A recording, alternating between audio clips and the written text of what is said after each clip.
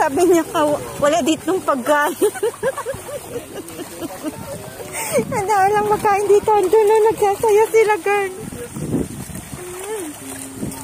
Kawawa tayo.